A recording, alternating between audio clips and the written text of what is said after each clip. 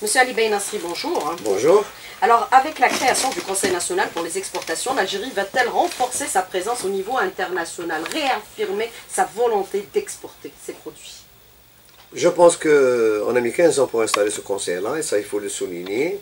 Et ça, je pense que c'est l'un des effets collatéraux donc, euh, bénéfiques euh, euh, de, ce qui se passe en Algérie. ce, conseil, ce conseil a été installé hier. Pourquoi ce conseil? Tout simplement parce qu'on avait besoin d'un niveau décisionnel pour avancer dans le cadre de la promotion des exportations. Ce conseil est composé, donc il est présidé par le Premier ministre et euh, cinq ministres sont donc membres de ce conseil-là. Je citerai donc les affaires étrangères, l'intérieur, le transport, le, ministère, du Commerce. Ce conseil, une revendication de l'ANXL depuis 15 ans, M. Ali Nasser Oui, il figure d'abord dans l'ordonnance 0304 qui, qui encadre donc le commerce extérieur. On avait besoin donc de visibilité à haut niveau. Ce n'est pas une, une, innovation donc algérienne, ça existe dans tous les pays. Euh, nos voisins tunisiens ont, ils ont ce qu'on appelle le Conseil national du commerce extérieur, qui est présidé donc par le président de la République, parce que dans l'exportation c'est un acte transversal, donc ça sollicite donc euh, une, cohésion entre différents ministères, et le, ce conseil-là, étant présidé par le Premier ministre, va donc, euh, s'il y a de la volonté, poser la, la, véritable problématique, régler les problèmes, mais surtout donner une vision donc euh, du commerce extérieur en Algérie. Mais ce conseil va-t-il avoir toutes les prérogatives pour réviser le dispositif lié au commerce extérieur? Monsieur Ali Baïnas, vous parlez de volonté politique, est-ce qu'elle existe aujourd'hui? Est-ce qu'elle est affichée? Mais ce qu'on avait affirmé auparavant, c'est-à-dire que la, nous, la volonté politique était traduite d'abord par la mise en place de ce conseil. Ce que j'ai demandé hier dans mon intervention, c'est qu'on enlève le mot consultatif. Le consultatif a plombé l'Algérie. Pour tuer quelque chose, pour c'est-à-dire euh, étouffer toute initiative, on met le, mot consultatif. Donc j'ai fait des propositions pour que le mot consultatif, parce que on consulte pour qui? Étant présidé par le Premier ministre, ça va remonter vers qui? Donc le mot consultatif doit être absolument banni. Ce qu'il faut faire, ce faut faire donc en, second lieu, c'est d'intégrer donc euh, des partis qui manquent euh, à, ce conseil-là, et notamment donc le gouverneur de la Banque d'Algérie, parce que la Banque d'Algérie c'est une partie extrêmement importante donc du puzzle euh, de la gouvernance, euh, surtout concernant les, exportations, le, gouverneur est nécessaire, comme d'autres ministères sont nécessaires à ce niveau-là. Mais pour exporter, que faut-il aujourd'hui de façon concrète? On en parle depuis quelques années déjà. On parle du dispositif qui est extrêmement rigide. Et là, on annonce déjà des indicateurs chiffrés. On parle de 7 milliards de dollars qui pourraient être atteints d'ici euh, 3 années. Euh, ça a été annoncé par euh, le ministre en charge du secteur, à savoir M. Euh, Saïd Djelleb. Est-ce qu'on pourrait atteindre ces 7 milliards de dollars, sachant que déjà en 2004, la projection du gouvernement de l'époque, c'était d'atteindre les 3 milliards de dollars en 2007, un chiffre et un montant qu'on n'a jamais pratiquement atteint. Monsieur atteint parce que tout simplement, il, faut, il faut étayer quand on avance euh, des chiffres, il faut les étayer. Donc moi, j'ai appris ce chiffre-là comme vous, ils ont dit à moyen terme. Le moyen terme, donc il faut, il faut le, définir à peu près. Donc, ils ont parlé de trois ans.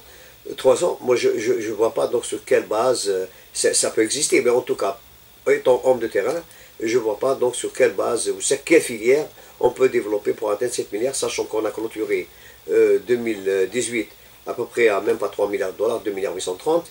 Nous sommes actuellement, c'est vrai que nous sommes une bonne lancée parce que l'assiette des exportateurs a pratiquement donc euh, euh, doublé en 2018, c'est important à signaler, mais compte tenu de la structure des exportations, comment aller hors hydrocarbures, hors dérivés des hydrocarbures, à atteindre ce chiffre-là, je ne sais pas si c'est c'est réalisable. En tout cas, en, tant qu'homme de terrain, euh, je ne pense pas qu'en trois ans, on pourra donc euh, pratiquement tripler euh, ce chiffre. Mais 7 milliards de dollars en 3 ans, difficilement réalisable selon vous, en toute objectivité, M. Ali Nasri? En toute objectivité, oui. Je pense que ce, ce, chiffre-là sera très difficile à atteindre. Mais est-ce qu'on peut considérer qu'avec le montant, bien sûr, de clôture de l'année 2018, euh, à savoir les 2 milliards 800 millions euh, de euh, dollars, est-ce qu'on peut considérer que la structure demeure la même, à savoir la prédominance des produits dérivés hors hydrocarbures? Oui, la, la, dominante, la dominante, disons, est la même. Ce qu'on ce qu'on constate, c'est un peu donc des, produits donc euh, d'origine industrielle sont, sont apparus. Je citerai par exemple la reprise donc de Sider. Euh, Sider a exporté quand même un chiffre assez appréciable, donc très très important. En 2018, c'est 60 millions de dollars. Je pense qu'il y a de, ces nouveaux produits-là. Vous avez la câblerie électrique, donc il y a donc un chiffre aussi donc très important. Et vous avez donc tout ce qui est actuellement en phase de devenir un métier de l'Algérie, qui est tout ce qui est l'industrie donc électronique, électronique et électroménager. Ça c'est une concernant les produits agricoles, il y a effectivement donc un élargissement donc de, des produits et surtout un nombre d'acteurs de plus en plus important. La date, je vous citerai uniquement l'exemple de la date. La date a pratiquement été multipliée, le volume, le volume, je du volume, a été multiplié par 4 par rapport à 2009. Donc, nous sommes en pleine phase de croissance. Maintenant, comment consolider Ça, c'est le débat. Comment élargir? Là, on a besoin d'une stratégie. Je pense que la stratégie a été adoptée hier. Euh, c'est-à-dire qu'on en a parlé euh, hier. Cette, SNE, elle est là, elle doit être validée par le gouvernement pour être euh, mise, mise en œuvre sur le terrain. Je crois à cette stratégie-là si elle est prise sérieusement en main. Mais aujourd'hui, on s'attaque au transport, à la réorganisation, bien sûr, du dispositif législatif régissant l'acte d'exportation, s'attaque aussi aux aspects liés au financement, révision des statuts d'Algex et également de la foire d'exportation. Est-ce qu'on peut considérer que, euh, que euh, va honorer l'engagement pris euh, de faire de l'année 2019 une année des exportations, Monsieur Ali Nasri? C'est ce qu'il avait dit déjà. Et il avait annoncé 2019 comme étant l'année de l'exportation. Vous savez actuellement ce qui se passe, donc il y a une révolution pratiquement en Algérie qui est en train de s'installer. Ça, bien sûr, un peu ralenti donc, euh, le rythme, ça il faut, il faut le souligner. Et je ne pense pas que l'année 2019, ça sera celle de l'exportation telle qu'elle l'avait envisagé donc, euh, euh, M. Geleb. La, conjoncture actuelle impacte donc un peu lourdement donc, cette, cet élan au niveau de l'exportation. Nous, nous travaillons toujours sur le terrain, mais la conjoncture fait qu'il y a un ralentissement. Alors il y a un ralentissement, c'est négatif sur l'économie actuelle? Oui, absolument. Il est, clair que le monde économique actuellement donc on est en état de fébrilité, il y a une, il y a une, morosité, et un ralentissement donc de, de tout l'outil de production.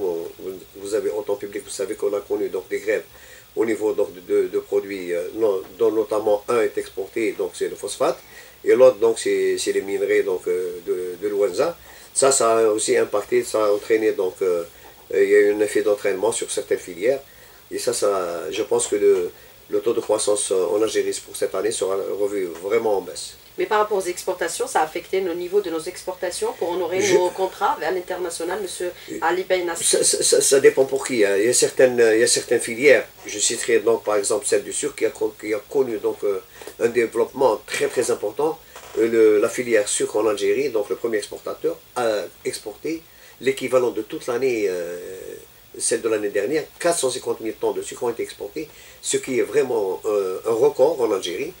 Ça n'a pas, pas tellement affecté cette filière-là, mais globalement, le monde économique actuellement est, euh, je ne dirais pas en état léthargique, mais il est en, en état, en posture de, de what ils sont en train de voir un peu ce qui se passe sur le terrain. Une reprise de l'économie est impérative dans le contexte actuel Mais absolument, la, vie doit continuer, l'outil de production doit continuer. Je pense qu'on a besoin, a besoin d'assurance, on a besoin donc de, de conforter cet outil de production parce que c'est l'avenir de l'Algérie.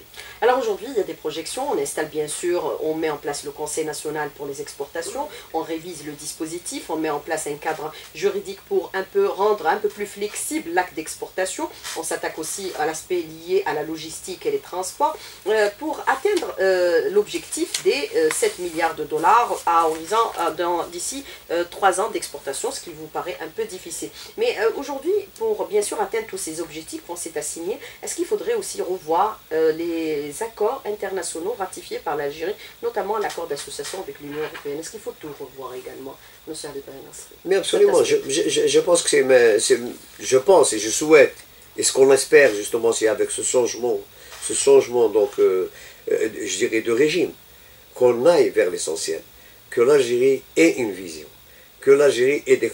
Les compétences existent. Je pense que si on n'a rien fait jusqu'à maintenant, c'est dû à de, plusieurs facteurs que tout le monde connaît. Il est clair que ce qui a impacté la gouvernance en Algérie, c'est le système. Le système a mis en place donc euh, tout un dispositif institutionnel qui pouvait avancer, mais qui, dans les, faits, sur le terrain, n'agissait pas.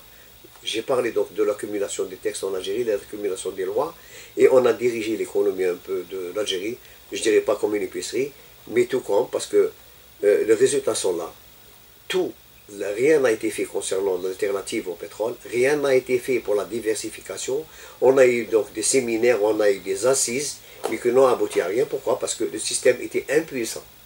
Il n'avait pas donc soit la volonté, soit les, mis en place les compétences nécessaires pour aller dans ce but-là. Et l'Algérie, je pense qu'elle a un potentiel de croissance qui, existe. Il y a des leviers sur lesquels on peut s'appuyer. Et pour dire exactement, pour aller dans le vif du sujet, je dis pour libérer le moteur de la croissance, il faut absolument donc desserrer les freins en Algérie. Les freins, le premier frein étant la rigidité, la rigidité administrative. Ça, c'est le premier frein. Le deuxième frein, c'est comment améliorer donc la, ressource humaine. Le, troisième, frein, c'est comment encourager la création d'emplois. Comment donc créer de la richesse en Algérie. Et là, quand on voit tous les systèmes mis en place, les conditions pour l'investissement, les conditions de financement, les conditions de création d'emplois ont fait que l'Algérie n'a pas pu développer donc, euh, euh, son outil économique. Mais pour aller vers l'international, les accords d'association avec l'Union européenne, des aspects à revoir aujourd'hui impérativement, puisque beaucoup disent que ça a été négocié, négocié au détriment des intérêts de l'Algérie. Ça a été négocié au détriment des, intérêts économiques de l'Algérie, parce que la vision à l'époque, en 2002, il faut remonter en 2002, la vision était de desserrer, donc euh, c'est beaucoup plus l'aspect politique qui a prédominé, qui a pris le pas sur L'embargo indirect qui était imposé à l'Algérie. Était imposé en Algérie, mais il est clair que les les accords que nous avons actuellement doivent être revisités. L'accord d'association doit être revisité dans quel sens?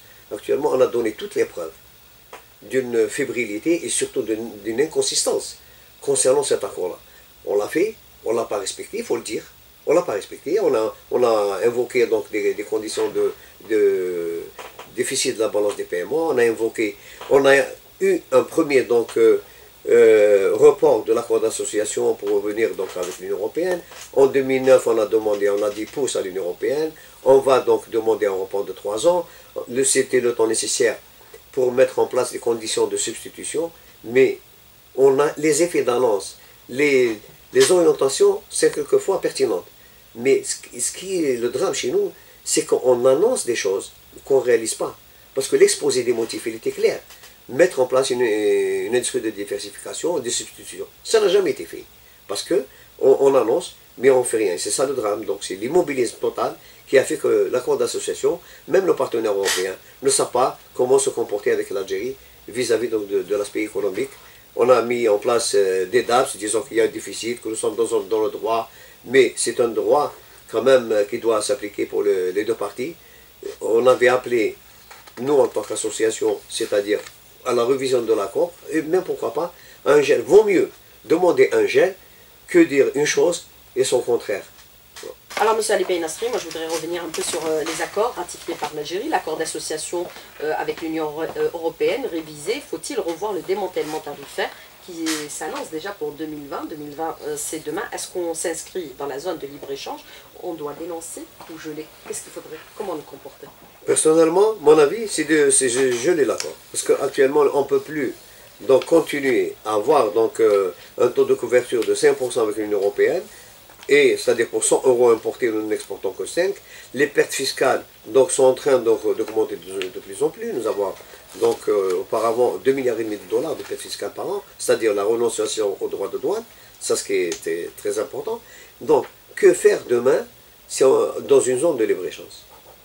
Que faire? Nous ne sommes pas actuellement en mesure d'assurer un équilibre dans nos relations avec l'Union européenne.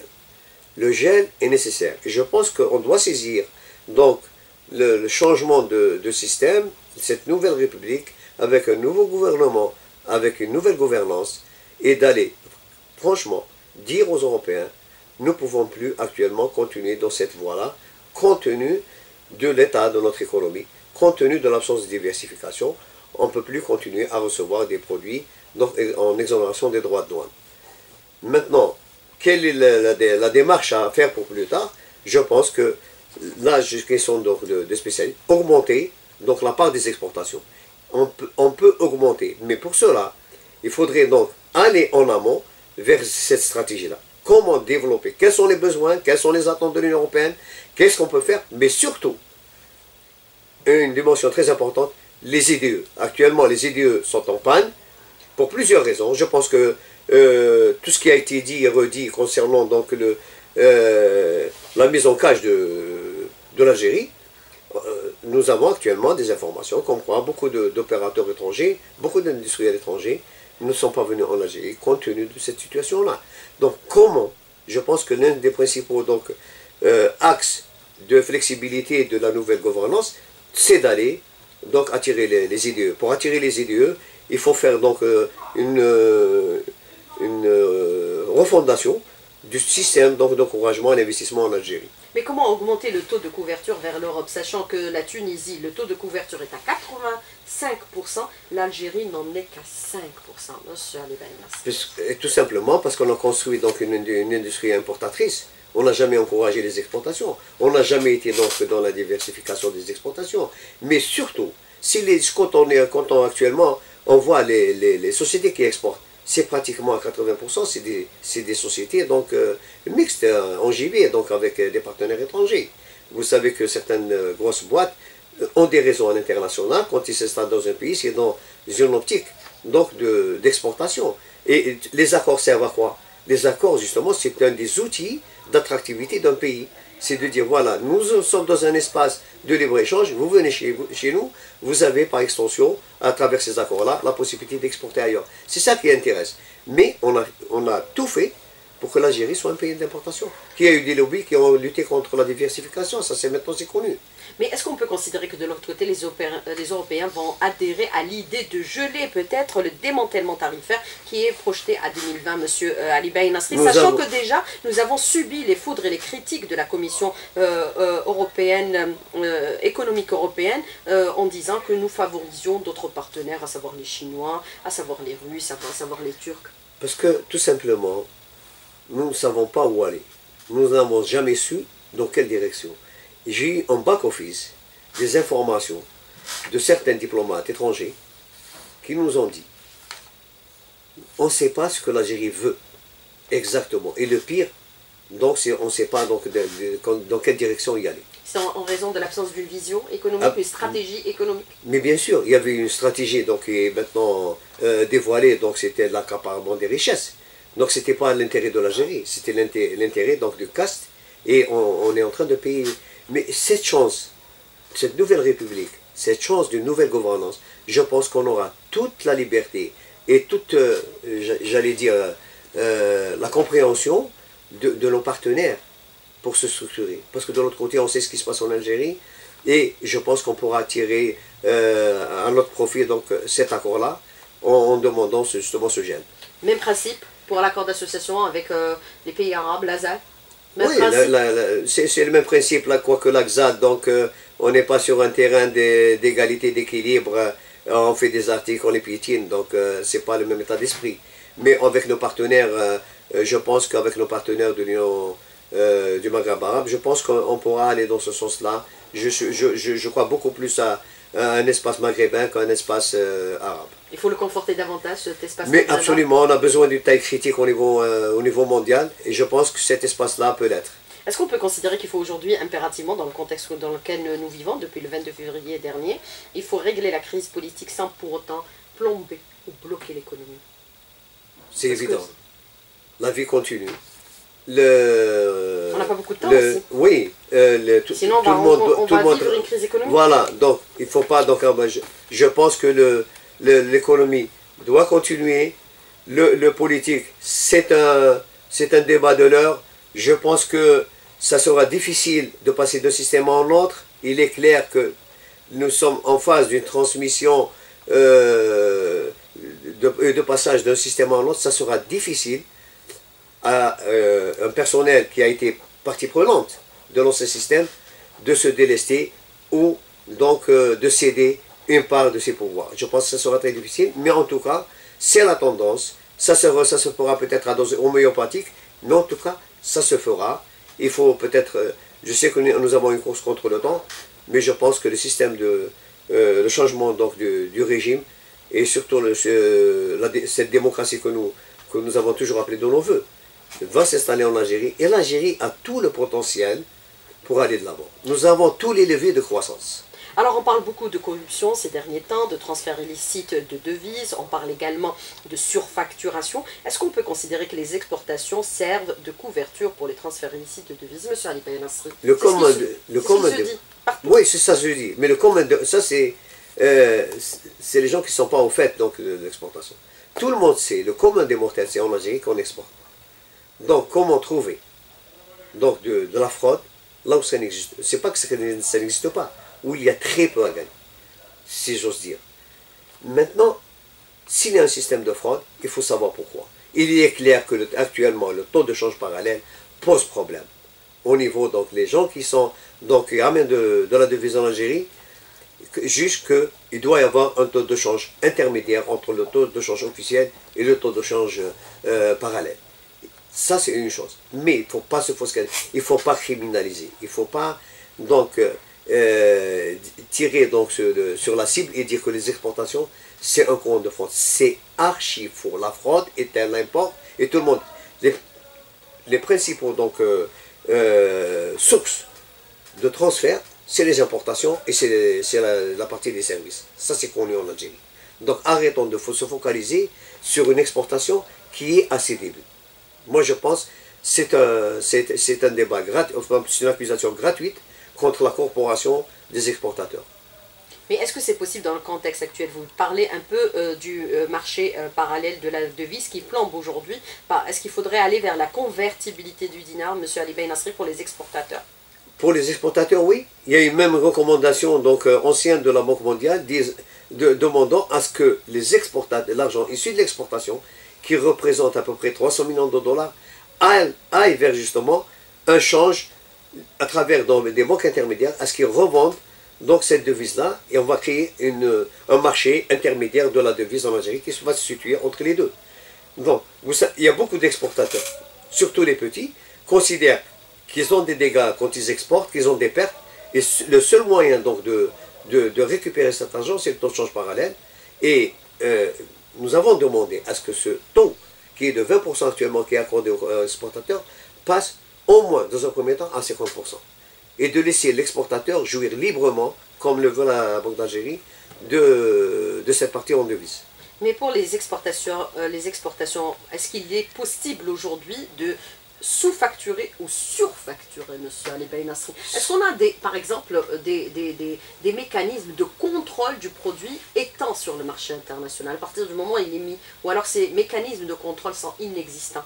Dans notre pays il y, a, une chose qui, existe au niveau de la Banque d'Algérie. D'abord, c'est la, euh, la seule donc, qui est contrôlée, c'est les, rapatriements. L'exportateur, le, rapatriement de, l'exportateur est visible sur, les radars de la Banque d'Algérie. Pourquoi? Parce que toute insuffisance de rapatriement, tout retard de paiement, de, rapatriement est répercuté directement à la Banque d'Algérie. Ça, c'est clair et net. Nous sommes donc sous la loupe de la Banque d'Algérie sur ce sujet-là. Concernant la surfacturation, il existe, il existe une surfacturation, il ne faut pas se voiler la, cache, euh, la, face sur euh, justement certains produits agricoles parce qu'ils considèrent que c'est le seul moyen donc de, de, de, de retrouver donc, euh, leur compte. On a demandé, on a demandé, lorsque vous avez une personne qui, essaie de frauder, on la punit. Mais quand le problème se pose à tout le monde, on a demandé à ce que l'argent issu de l'exportation des produits agricoles aille vers les, vers les, exportateurs qui courent des risques. Alors pour la surfacturation, euh, pour les produits subventionnés, réexportés, les matières grasses, les pâtes alimentaires, c'est possible? Non, non, la surfacturation n'existe pas, donc il n'y a aucun la sous-facturation la, la surfacturation, ça existe. Ça, il ne faut pas se voir la, la face. Et la, la, surfacturation existe, on lutte contre, mais en tout cas, on demande à ce que ce problème-là soit, soit donc euh, pris en charge pour voir comment y. Et l'un des moyens d'y remédier, c'est que l'exportateur puisse jouir, jouir au moins, dans une première phase, de 50% de ses revenus à l'export. Alors, faire prévaloir le principe de la présomption d'innocence pour les opérateurs, c'est pas tous les opérateurs qui sont aujourd'hui euh, voleurs, c'est la question de l'auditeur, M. Ali Bey Nasri. Écoutez, moi je vous dis une chose, nous sommes en train de lutter contre l'ordonnance 96-22. Et l'ordonnance 96-22 criminalise toute une observation d'augmentation d'échange. Sachant que tous les exportateurs actuellement qui viennent sur cette activité-là tous ces exportateurs ne connaissent pas la réglementation d'échange, donc s'exposent à euh, des, infractions au corpus de la réglementation d'échange ils sont donc directement relève du pénal. Et vous avez une ordonnance qui est venue après l'affaire Khalifa. Cette ordonnance dit tout simplement que, inimaginable, toute bonne foi est rejetée. Ça, ça n'existe pas par ailleurs, ça n'existe uniquement au niveau de l'exportation. Et dernièrement, la Banque d'Algérie, au lieu de se retourner vers les sources de fraude à l'import, se retourne vers les exportateurs. Comment? Dernièrement, on a eu la surprise, la désagréable surprise de la Banque d'Algérie de supprimer tous les justificatifs à l'exportation. Ça veut dire quoi? Si vous avez un incident de paiement, si vous avez un PV de destruction, si vous avez donc euh, une assurance CASEX, la Banque d'Algérie ne le reconnaît plus. Donc qu'est-ce qu'on fait? Nous, on n'exporte plus. Actuellement, l'association va demander aux exportateurs de cesser les exportations parce qu'on ne va pas aller en prison pour des choses qui sont évidentes, qui sont liées au risque commercial. Alors, euh, des autres questions de l'auditeur. Euh, comment peut-on promouvoir l'exportation et l'Algérie n'a même pas une flotte et de base logistique aux normes et la corruption, on n'en parle même pas. La flotte, ça veut, la, flotte, ça ne veut rien dire. Parce que, pourquoi la flotte, ça ne veut rien dire? Parce qu'actuellement, les exportations sont enregistrées à 97% ou 98% au niveau maritime par les compagnies donc, étrangères. Donc c'est pas une question. Ça représente l'équivalent de 4 milliards, de dollars. Donc c'est pas. Maintenant c'est vrai qu'il faut se structurer d'un point de vue stratégique. Point de vue stratégique, oui. C'est les plateformes d'exportation. On doit mettre en place des plateformes d'exportation. C'est nécessaire. On doit réorganiser nos ports pour qu'ils soient tournés vers l'exportation. C'est nécessaire. Euh, je, pense qu'actuellement, donc le transport terrestre est pris en charge donc, par le ministère des Transports. Ils assurent donc au niveau du point de, point de vue terrestre je pense que les moyens existent euh, et actuellement nous assistons donc à un développement très important des exportations par voie terrestre. Alors exporter quoi? Depuis mon jeune âge, fin des années 90 au lycée, on nous disait que le taux d'exportation hors hydrocarbures ne dépasse pas les 3%. 20 ans après, toujours le même taux, Wakila, moins encore. Monsieur Ali D'abord, je le rassure, c'est pas moins. Mais 20 ans, ça correspond à un système.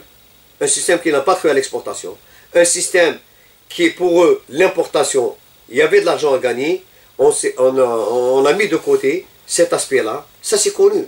20 ans, c'est la preuve par neuf que le système s'est orienté vers, vers l'import et non pas vers l'export. Les résultats sont là. Alors une fois que le pays euh, sera libéré des griffes de la mafia, on va euh, se mettre au travail et je suis certain que l'économie se portera nettement mieux. Comment promouvoir l'exportation avec ces gens-là aujourd'hui? Est-ce que c'est possible de faire avec eux ou sans eux? Et est-ce qu'on a du potentiel, Monsieur Ali Nasri le potentiel, si on n'a pas, on le crée.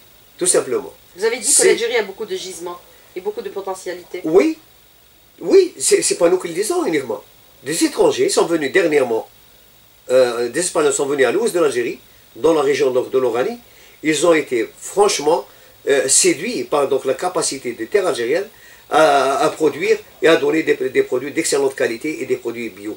Mais malheureusement, on a tout fait pour plomber. Donc, euh, ce, potentiel algérien. Alors, euh, je travaille dans une entreprise euh, qui fait de l'exportation. On est harcelé par la Banque d'Algérie, direction de contrôle d'échange, pour le moindre petit détail que notre banque n'a pas communiqué à temps. Euh, on nous envoie des mises en demeure aussitôt. Alors que par contre, nos réclamations, ils prennent des mois et des mois pour nous répondre. Comment vous considérez cette situation, monsieur Ali Baynasri L'un des, l'un des frères, la Banque d'Algérie. C'est la Banque d'Algérie. Et nous avons actuellement les, le principal, ça s'est aggravé parce que les gens en charge actuellement de la réglementation d'échange. Et je fais un appel comme j'ai fait donc auparavant au gouverneur de la Banque d'Algérie. Je le fais actuellement au gouverneur par intérim. Regardez ce qui se passe. Ils sont en train de nous casser. Ils sont en train de nous briser. On ne veut pas que l'Algérie exporte parce que tout simplement, je dis, je le répète, les exportateurs, les exportateurs au niveau de la Banque d'Algérie, ils sont considérés comme une source de fraude. Il ne veut pas qu'on avance, il ne veut pas qu'on exporte. Le meilleur moyen, justement, de rester à ce taux et de regresser, c'est de maintenir actuellement les responsables de la Banque d'Algérie. Alors, après une visite d'études la semaine passée dans un pays voisin, à savoir le Maroc, notre pays a un potentiel, mais faute de bonne gouvernance, nous avons accusé un retard énorme. Y a-t-il des possibilités pour rattraper le retard? Monsieur Ali il faut travailler dès maintenant. Non, il faut, travailler. Nous, nous, pas bloquer l'économie, surtout. Qu'est-ce qui va débloquer la, la situation des exportations en Algérie C'est cette nouvelle gouvernance c'est cette démocratie, c'est libérer le politique, mais aussi l'économie, libérer tout, libérer les associations, libérer le monde éducatif, le monde artistique, le monde culturel, le monde économique. C'est ce dont on avait besoin. On avait besoin de souffler, on avait besoin. Mais, mais nous, c'est les, les, gens qui viennent de l'autre côté qui nous disent vous avez des richesses, vous n'arrivez pas à les développer. Mais ce n'est pas nous, c'est le système qui nous a lié les mains. Comme vous voyez le code des investissements, le code existe et la pratique est une autre. On donne des terrains euh, pas sur la base d'arguments donc économiques, mais on donne des terrains et on donne des unités et on donne tout ça sur des, conditions, des considérations donc, euh, de, de, de, mafia. Donc, je pense que l'Algérie sera un pays exportateur. Je ne donne pas de délai, mais en tout cas la nouvelle gouvernance, la liberté d'entreprendre, la création de richesses, revoir le système fiscal, améliorer la ressource humaine, améliorer surtout l'administration qui est des grandes rigidités, donner donc le changement, il faut aller même donc revoir même le changement organisationnel actuellement de la gouvernance. Nous avons un gouvernement, qu'on voit les ministères, ils sont vraiment en déphasage et euh, pratiquement obsolète. L'organisation est obsolète par rapport à ce qui se passe de l'autre côté. Nous n'avons pas des, ministères en phase de l'économie mondiale. Alors la situation actuelle plombe l'administration et ralentit euh, la prise des décisions. Attention au blocage économique. C'est le cas actuellement, monsieur. Euh, non, euh, ça c'est clair. Moi je pense que les gens ont parlé des diversions, les gens. Moi je pense que c'est compte tenu de la nature du régime, qui est beaucoup plus donc dans la répression que dans, le, dans la gouvernance. Nous sommes, au lieu d'aller voir le politique, nous allons donc voir la répression. Et ça, je pense que c'est le système c'est sa nature du système d'aller vers ça. Alors l'utilisation du compte exportateur à la discrétion de l'exportateur est sous sa responsabilité. Pourquoi la DGI, c'est la Direction Générale des Impôts, traite les exportateurs et le reste des opérateurs au même pied d'égalité? Monsieur Ali je pense qu'il y a, Je pense qu'il y a une incompréhension de la Direction des, des, des, impôts. Je, euh, je, compte me déplacer justement pour voir le nouveau directeur général des impôts pour justement lui amener les, les éclaircissements nécessaires pour ne pas bloquer les exportateurs. Ça, c'est, je, considère que c'est beaucoup plus dû à une mauvaise application des instructions de la DGI et c'est surtout au niveau de la base qu'au niveau du sommet. Donc on va, notre rôle c'est d'aller voir justement les, les, responsables des impôts pour leur dire voilà ce qu'il faut, euh, ce qu'il faut faire justement, surtout compte tenu des gens qui ont donc cette, euh, ce compte exportateur. Alors le climat économique actuel, est-ce qu'il est affecté par bien sûr euh, l'emprisonnement de certains euh, grands patrons d'entreprise Monsieur Ali Bey Mais c'est clair, c'est clair, c'est clair qu'il y a actuellement tout le monde patronal pratiquement est tétanisé. Que ce soit des, les innocents, l'investissement d'abord il s'est arrêté. Un. Et beaucoup de patrons pensent maintenant quel est de leur avenir. Quand vous savez, quand, il y a le feu, on essaie toujours de, de se sauver. Et actuellement, je vous dis, le monde économique est en panne. Il revient, il appartient aux gens qui gèrent actuellement ce pays-là de donner des assurances. Qu'on n'est pas un pays voyou, qu'on n'est pas, qu'on n'institue pas actuellement cette, que cette répression, cette répression-là, mettre des gens, des hommes d'affaires, quels qu'ils soient, en prison, alors qu'il existe le contrôle, je pense que, est-ce que c'est une, diversion? Mais en tout cas, il est plus facile pour eux d'aller dans ce sens que d'aller dans le sens de la transmission du politique. Monsieur Ali Nasri, merci d'avoir répondu à nos questions et d'avoir été en direct avec nous ce matin dans le studio. Merci beaucoup, bonne journée. Merci à vous.